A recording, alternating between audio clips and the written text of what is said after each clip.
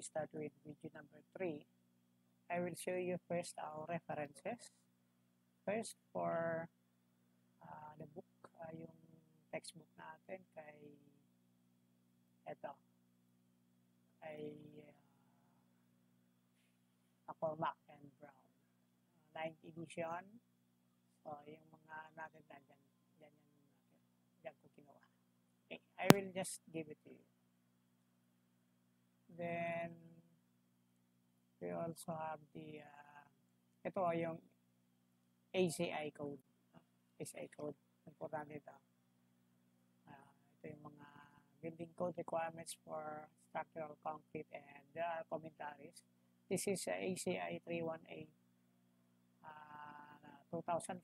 Yan yung 2015 actually dyan yung base ng 2015. Then pag binigay ko sa inyo to, halimbawa gusto niyo pumunta sa durability, ayun, na automatic papupuntahan siya. So dito sa code, makikita dito yung code, for example, water cement ratio, may mga babasahin kayo dito.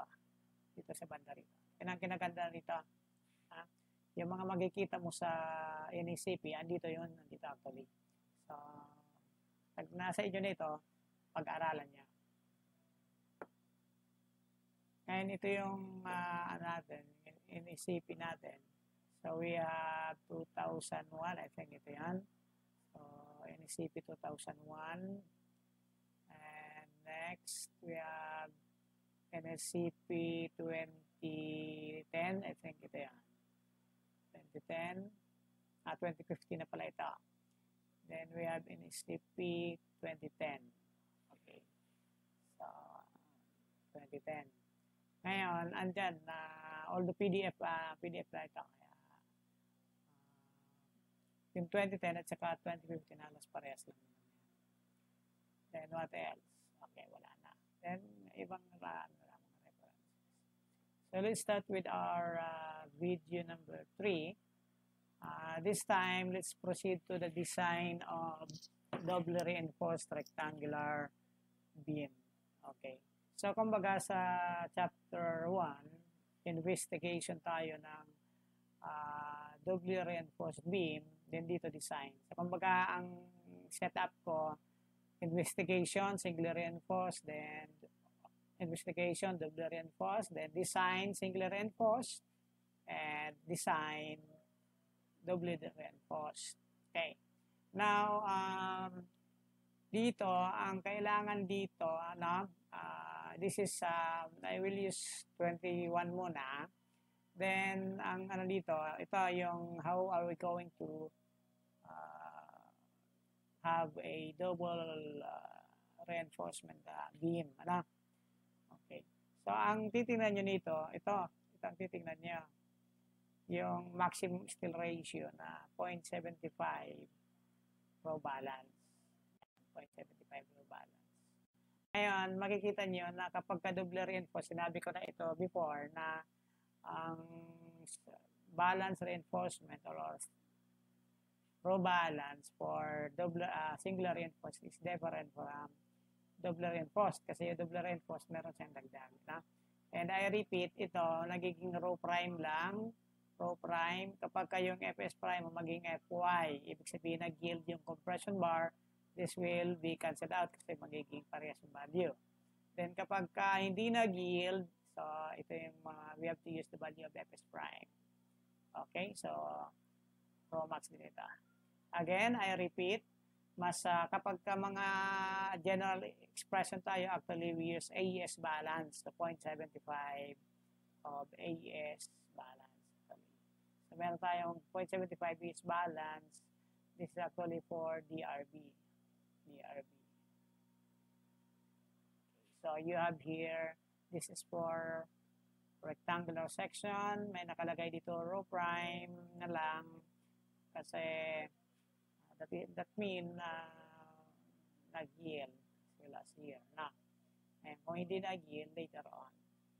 Now, paano ba tayo nagdi-design? So the design of beams is first is to determine the, the bar for the tension steel and later on the compression steel. Then I repeat, ang double reinforced uh, meron tayo ng concrete steel couple and yung steel steel couple. So, basta tandaan nyo lang yan. Tandaan nyo lang yan. Ngayon, paano tayo nagdo-double reinforced?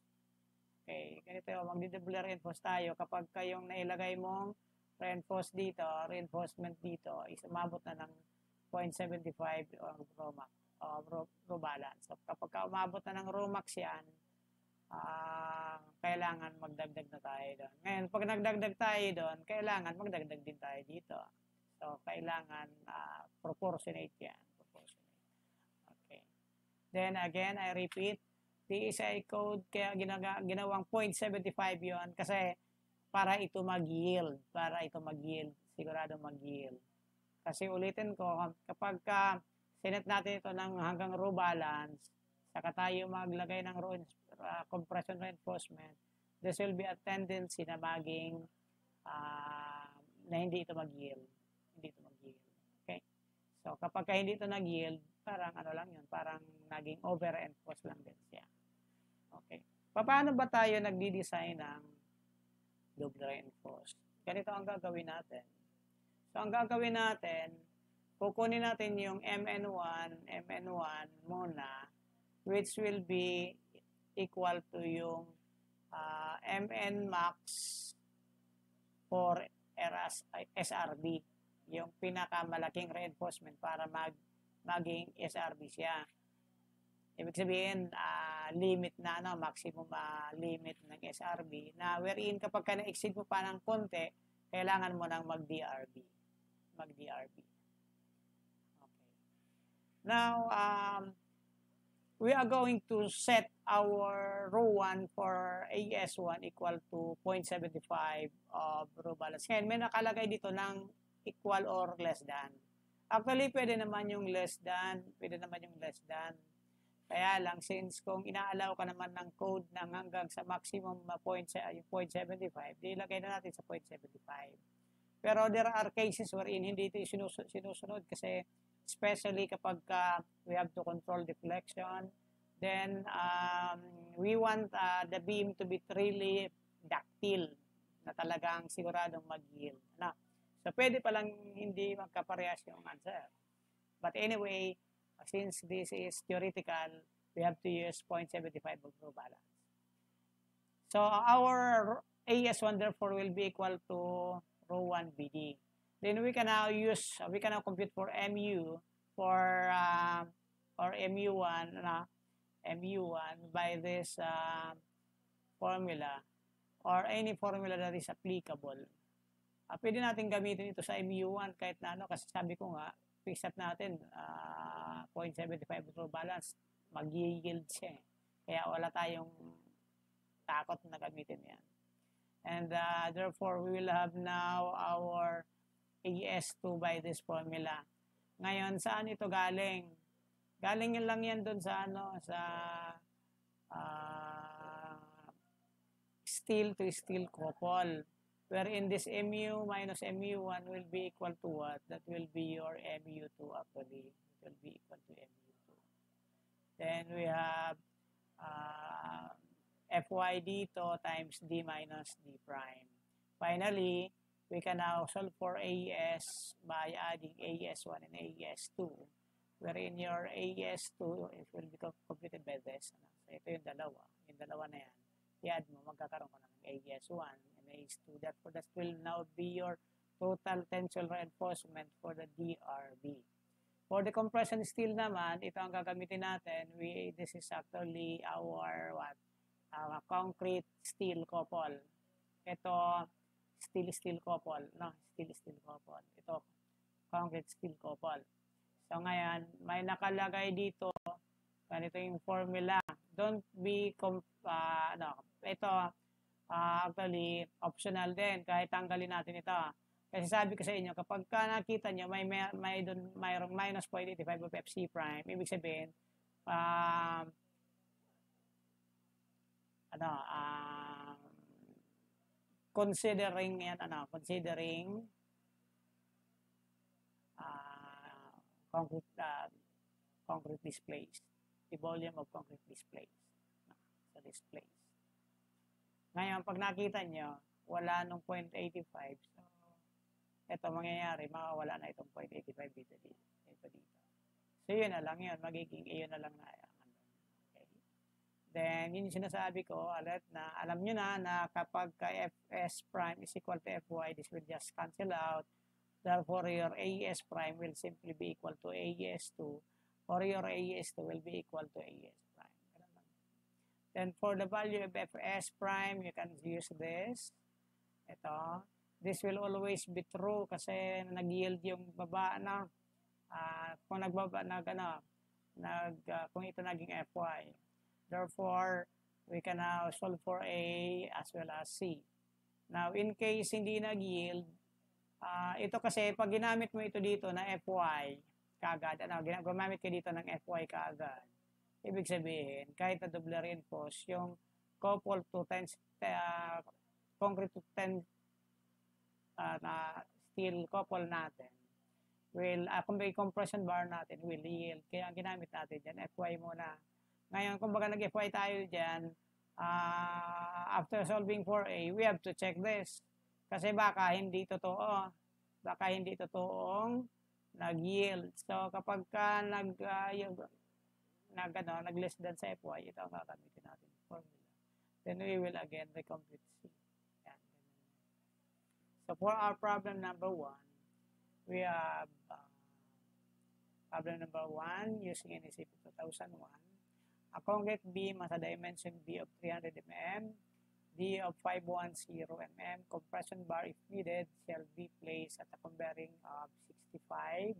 If FC prime is 28 megapascal and Fy is equal to 400 megapascal, design the longitudinal reinforcement if beam is to support the following service load moments. Uh, you send is CP actually 2000. So kung may nalagay ko dito, ah yes, uh, actually kasi uh, before ginagamit kahit sa 2001 yung almost uh, 2000 1992. So actually 1992 kasi nagamit dito ito. Ano hindi na ito nagamit dito. Actually uh, ito kasi hindi na siya na-check sa, 'di ba? Kung tatandaan niyo, ito sa 1992 wala pa nung dinagdag na kumbaga i-check mo yung ano, i-check mo yung uh, meron pang tandaan niyo dun sa ibang ano, tingnan niyo sa ibang module natin, sa ibang lesson natin na meron tayo sa load load combination na ito, yung combination na dead load, live load, earthquake, 0.75, meron pang ibang criteria dinadagdag. So in this uh, presentation actually, although this is 1992, but this is just very similar to 2001. So our with B, uh, by the way, our MDL is 280, MLL is 160, and M earthquake is uh, 150. Okay. So ngayon, ito, uh, dead load, live load, and may earthquake. So, walang given na due to wind. Bakit walang given na due to wind? Usually kasi uh, between wind and earthquake sa mga concrete ang mag uh, earthquake pag mga steel design naman kapag mga steel structures light structures yung wind talo talo yung earthquake ng wind na yung mga ano yung mga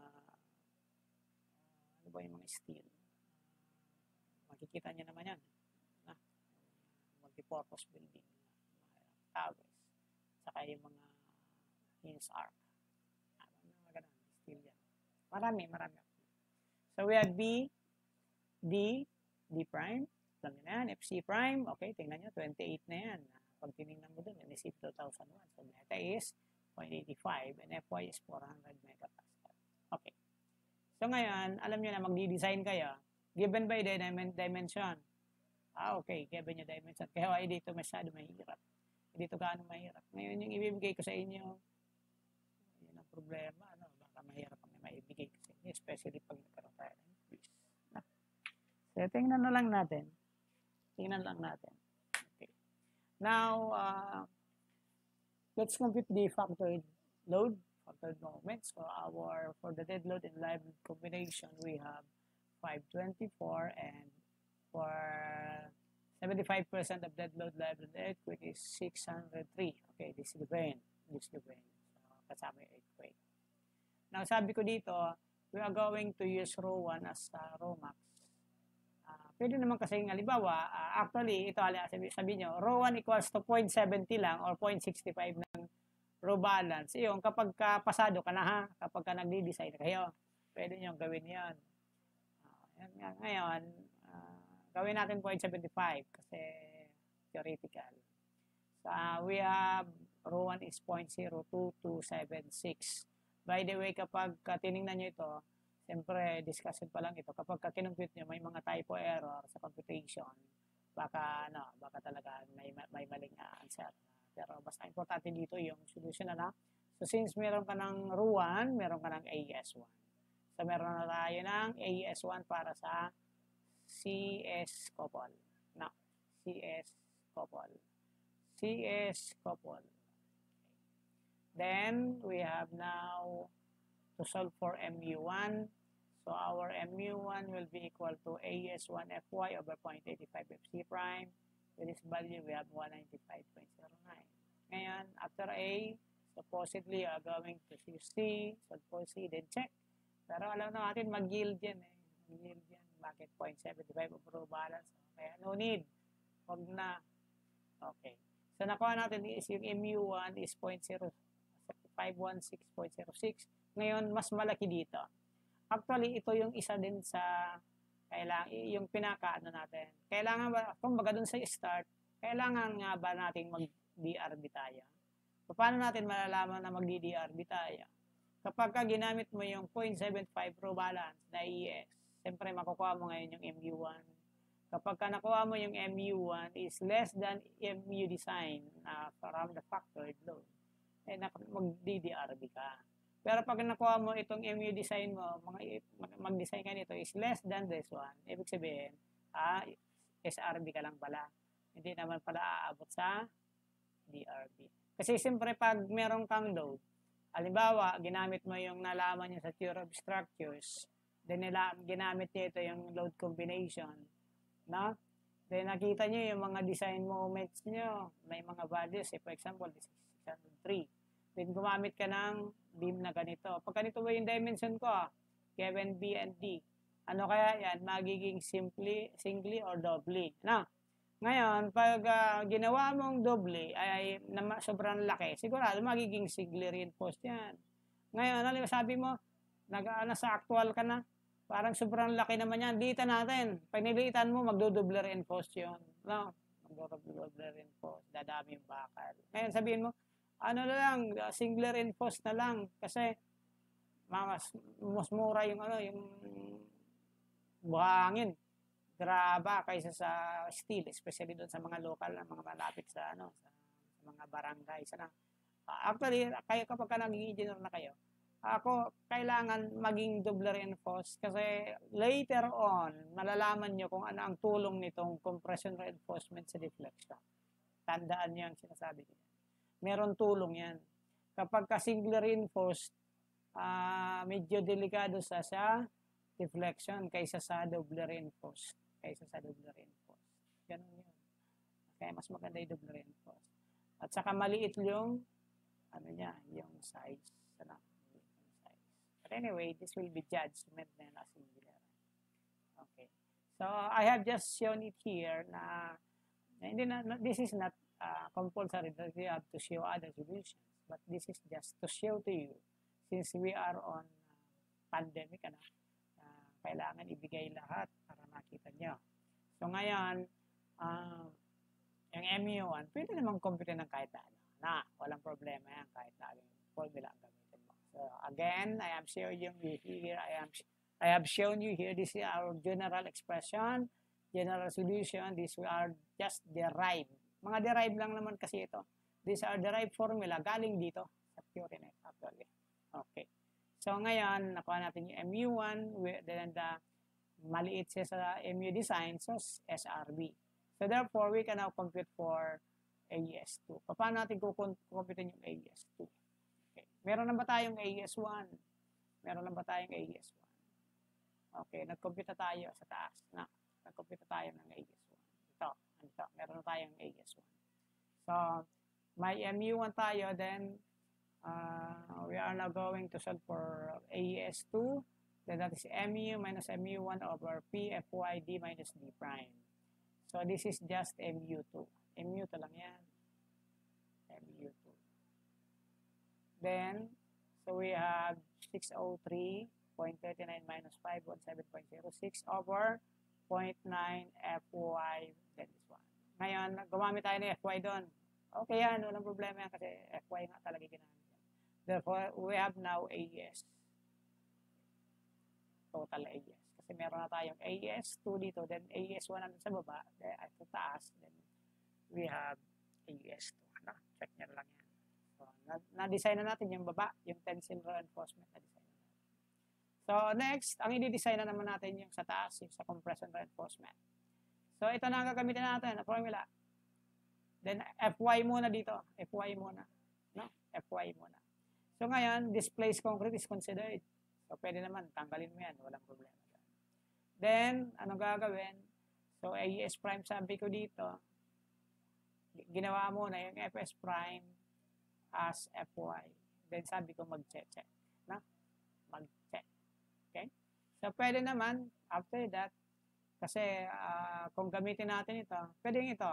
After this one, ito. Pwedeng dito.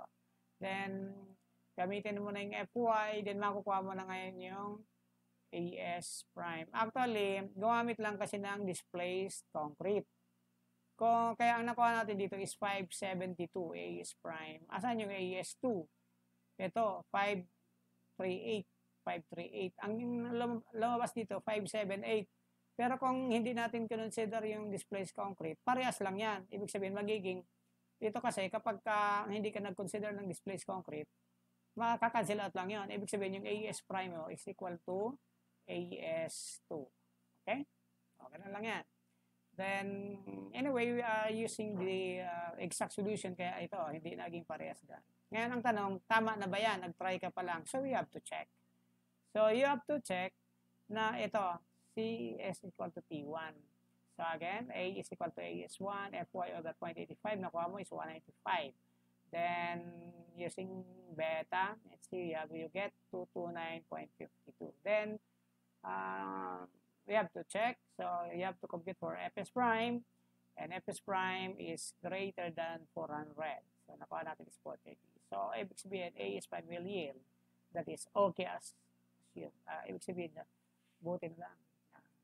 Tama. Ngayon, paano ganito, ano? Huwag kayong mag-at, uh, halimbawa sabihin nyo, Sir, paano kapag ka nag over ito, nag-over dito. Ano? Kaila, actually, hindi nyo kailangan bumalik doon sa, hindi nyo kailangan bumalik sa C plus CS is equal to T. T1 plus T2. That is equal to T. Hindi kailangan, hindi na, no need. Kung ano, kung itong nakuha mo is uh, greater than 400, anong gagamitin mo ngayon? Ang gagamitin mo ngayon, therefore, is yung fs prime na nakuha mo. Ganun yan. Hindi mo na kailangan mag-compute. Okay? Ngayon, tap, tapos, na ta, tapos na sana tayo. Ano? Ito, nag-yield, so walang problema. Tapos na sana tayo. Kaya lang, ang ginagawa ko dito, magka-detalye na tayo. Kagad, detalye na tayo kaagad. Na? So, sa mga board exam, baka hindi na kailangan mag-detalye okay lang. Nalaman mo na yung uh, total AS at saka yung AS prime usually. Yan yung mga tinatanong. Number of bars or the total reinforcement actually. So dito, uh, wala ulit ng binigay na bar diameter. So, nagdi-design kasi, so bahala ka mag-select. Okay. Sa board exam, ibibigay na yan kung anong diameter talaga gamitin mo. Kasi kung kukunin ko ilang bakal, na, ilang number of bars. So let us try 28, 25, and 20. So for our AS, so sa tension bar mo tayo, that is 4021.17. Then, ang ginamit natin N is, ay sorry, uh, diameter is 28, ang nakuha natin is 6.53, and that is 7. Then, pagka uh, 25, 8.19. So, sabihin mo is, uh, 9. So, uh, sorry, mali ito. Uh, typo error ako dito. This is 9. And dito, this is 12. So, sabihin, magiging 13 ito. 13. Okay? 13. na 20. Ngayon, malamang kapag ka nagdetalye ka, baka mag-congestion lang ito, sobrang dami, o kaya mag-two layers ka. Ngayon, uh, okay, uh, let's assume na dito, one layer, walang problema sa spacing, so I will select 7. Ito, I will select 7. Then for AES prime, ito, AES prime is 572. So, I selected 28.93. Ngayon, 1, 1 lang. 1 piece lang yan. Then, n is equal to 1.7. So, 2, 1.17 for 25. Then, n is equal to 1.8 to say 2 for 20. Ano? So, kung bago titignan mo, parang ito maganda yung 20. Ito lang ang isinelect ko. Now, ito, bakit ko nilagay dito 2 pa rin? Say 0.93, 1, 2. Kasi minimum, ito, tandaan nyo sa code, minimum na ilalagay mo dyan, 2. Okay, 2. Kahit na single reinforced lang, ano, ito, malaman nyo na, kahit na single reinforced lang yan, doon ako sa, ano, dito ako. Okay, importante kasi ito. Sagad na ba? Ayaw na bumaba. Okay. Anyway, kapag ka ito, yung reinforce pa, yung ano natin, kapag ito yung section. Then say for example, ah, na, na-design mo talagang ganito, ganito lang. Lima, for example, five. Then okay na yan. Sa, detail, sa detailing mo, kailangan mo talaga maglagay ng dalawa pa dyan. Dalawa. Dalawa. Na at least 16 mm to 16 mm. Pero yan yung pinaka ano, minimum 260. Ngayon, uh, kung ba, nakuha mo dito is 28, yun maganda. Lumagay ka niya ng 225. Okay, kaya na. Huwag ano, kasi huwag mo masyadong, kung ano, kung talagang hindi naman kailangan, ito na ilagay mo. Bakit? Uh, ano eh, uh, baka mag, pag nilagyan mo ng dalawang 28, baka maka-apekto ito. Maka-apekto dito sa capacity. At, but anyway, kung ano, ito talaga, kahit na single reinforced, dadating pa dyan, kung anong may lalagay mong reinforcement yan, dep- depende dun sa ano, depende dun sa sa negative moment mo. Kasi baka, baka meron dun ng tatlo, mayroon tatlo. Ibig sabihin, tapos dito, lumabas. Halimbawa, doon, lima, lima din. Ano, tapos dito, tatlo din. Parang ganyan din. So ngayon, ito, siyempre, mm, ibig sabihin, ito, lima, hindi mo pwedeng lima dyan. Pagdating doon sa bandang gitna, ito na lang, titira mo. So ito, kakat mo ito. Okay. Darating tayo dyan, darating tayo sa detailing. So, let's proceed. Okay. So ngayon, anong nangyari dyan? Ang nakuha natin is 7 and Okay? So ngayon, ganito, ah, uh, walang nakalagay dito ng detailing ano? So yung mga stirrups. So pag mga design ha? Pag nag mga pag nag-design ang kailangan nating i-consider diyan yung mga ano?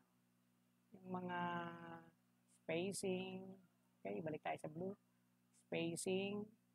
So spacing horizontal and vertical. Sa horizontal, huwag niyo tandaan, 25 mm or dB, whichever is larger. Sa vertical clearance is 25 mm automatic yan. Okay? So, that ends our video number 3. So, let's proceed to video number 4 later.